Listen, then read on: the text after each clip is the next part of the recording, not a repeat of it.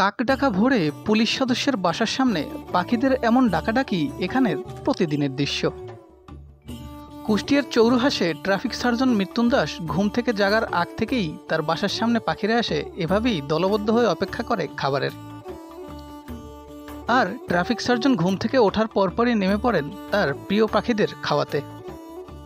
না, তবে এগুলো তার পোষ মানানো কোনো পাখি নয়।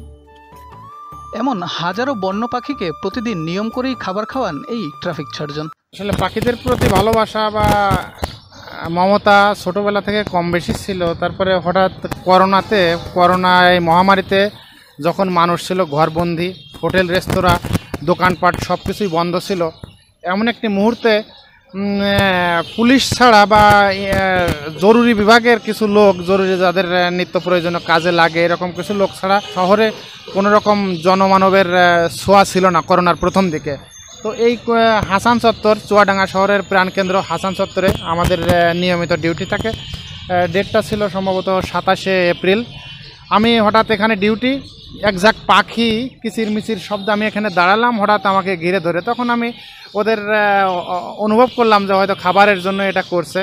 আমি কিছু, তাৎক্ষণিক কিছু খাবার, বিস্কিট, চানাচুর পাশ থেকে কিনে এনে ওদের দিলাম। তারপরে ঝাঁকে ঝাঁকে পাখি এসে আমাকে ঘিরে ধরে এবং আমি খাবার দেই। তারপর থেকে করোনাকালীন সময়ে আমি নিয়মিত, এর আগে প্রতিদিন দুবেলা বা তিনবেলা ওদের এই খাবার দিতাম। প্রতিদিনের ট্রাফিক সামলাতে ট্রাফিক পুলিশ সদস্যদের হিমশিম অবস্থা। সেখানে পাখিদের কাছেও মৃত্যুঞ্জয় হয়ে উঠেছেন ভরসার প্রতীক। পাখিদের সাধারণত চানাচুর ও মুড়ি জাতীয় খাবার দেন মৃত্যুঞ্জয়। কাজের সুবাদে যখন যেখানে যান সেখানেই তার সাথে গড়ে ওঠে পাখিদের এমন সক্ষতা। পুলিশ পুলিশ একটি সেবাদানকারী প্রতিষ্ঠান বা সংস্থা যেটাই বলি সেবাই পুলিশের ধর্ম। তো সেবাটা মানুষের সেবার পাশাপাশি সৃষ্টিকর্তার কোনো মানে কোনো জীবকে সেবা করাও, এটা আমি মনে করি যে মনুষ্য মনুষ্য ধর্মের ভিতরে পড়ে। স্বামী বিবেকানন্দের একটি কথা, বারবার যে কথাটি আমি বলি জীবে প্রেম করেছে যেইজন, সেইজন সেবিছে ঈশ্বর। তো সেখান থেকে ছোটোবেলা থেকে কম বেশি পাখিদের প্রতি ভালোবাসা ছিল, কিন্তু করোনাকালীন সময়ে বাংলাদেশ পুলিশ বিগত দিনের পুলিশ আর এই করোনাকালীন সময়ের পুলিশ যেন আকাশ পাতাল পার্থক্য মানে মানুষের পাশে যখন একটি দেখবেন অনেক অনেকের প্রিয়জন মারা গেছে কেউ নাই শুধু পুলিশ ছিল। সেম পাখিদের পাশেও হয়তো আমি সেই পুলিশের পবিত্র পোশাক গায়ে আমি ওই রকমই একটি সেবা হিসেবে দিতে পেরেছি যেন নিজেকে গর্বিত ভাবি। আর এর জন্য অবশ্য অনেকের অনুপ্রেরণা আছে যেমন আমার ওই সে- স্বামী বিবেকানন্দের একটি বাণী আর আমার মাননীয় পুলিশ সুপার স্যার স্যারও অত্যন্ত ভালো একজন মানুষ।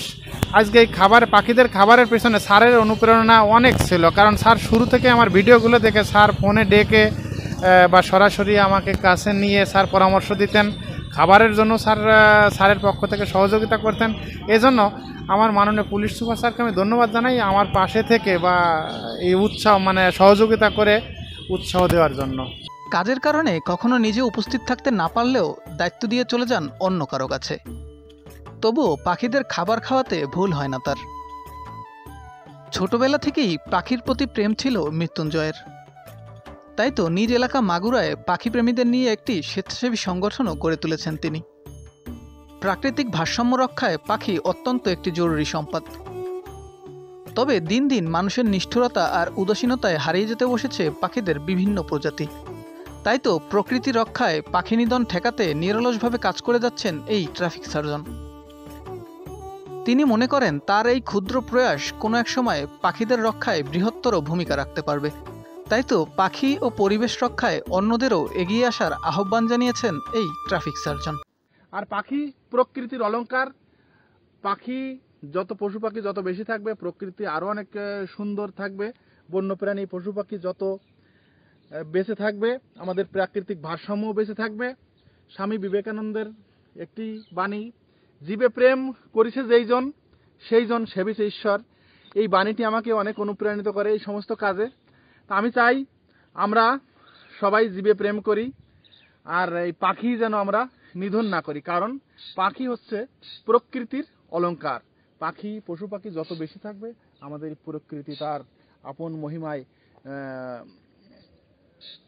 মহিমান্বিত হবে এবং প্রাকৃতিক সৌন্দর্য আরও বাড়বে এবং প্রকৃতির ভারসাম্যও বজায় থাকবে।